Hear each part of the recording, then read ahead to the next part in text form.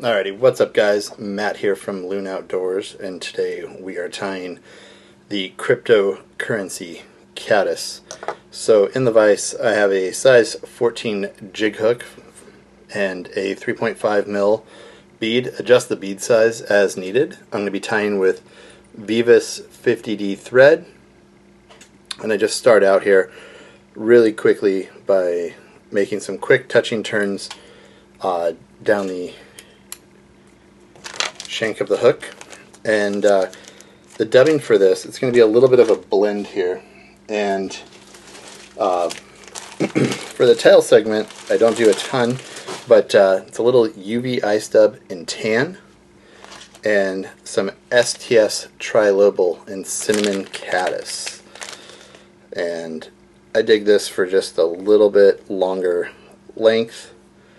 And the amount you're going to need here is pretty minimal. I'm going to bring a little bit of extra out um, for the body, but what we're going to do is we're going to blend just that ice dub and that STS trilobal together. And we're going to set the part of this aside for the rest of the fly. But, uh, so this is like a little trick Mike Mercer is doing right now. Seems to work super well. I'm going to trim all of the butt ends of this fiber nice and even. And we're going to start twisting. So you can see we're putting a really good twist into this back end of this here. And what I'll do is I'll just kind of fold it over and it just kind of furls back on itself. Sometimes it needs a little bit of help. But once we get that there, I'll hold it in place and it just creates a little bit of an extra back section there. I am going to trim this off and redub this. So um, next up we'll take our excess dubbing here. And if you have another longer dubbing that you like quite a bit, feel free to use that as well. But you can see it's just a super duper buggy looking fly. Looks like I caught a little bit there. And so what I'll do is I'll go ahead and create kind of touching turns here uh, with this dubbing moving forward. And then I'll just kind of ramp up into like a thorax area here. We'll get the bead in the right spot. Um, as you can see, it's really scraggly, it's really suggestive, there's a lot kind of going on there. So this is really a four material fly. Um, next up, I just take a little bit of ice dub in UV brown, and I'm going to create a small collar, kind of for the, the head of the bug, if you will. So, I mean, realistically, you could probably fish it just like that. Um, this is going to imitate uh, pupating caddis, so I want it to be a little bit more buggy. So I'm going to take a little bit of uh, brown CDC this is uh, CDC 40 from Hareline.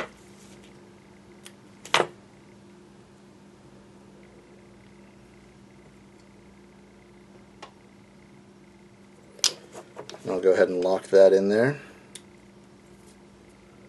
And we're really, whoops, cut the stem a little short there that time. Um, so realistically, we're probably going to do just about one one wrap with this CDC. Save the rest of it for your next fly. And I'll get in there and trim that up a little bit tighter here in a second. So I really secure this in, make it look as good as possible, and hide the stem inside the slot for the bead.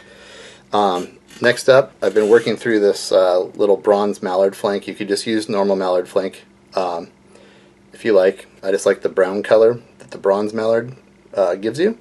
You can also just get standard stuff dyed. So these are going to turn into our antennas here.